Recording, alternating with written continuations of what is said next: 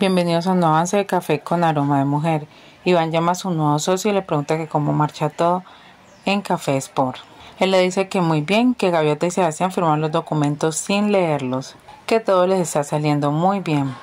A Sebastián le dejan claro que Iván está haciendo malos negocios en la compañía y que esté pendiente de Pérez, el nuevo socio de Iván. Sebastián queda muy preocupado con esto que le acaban de informar.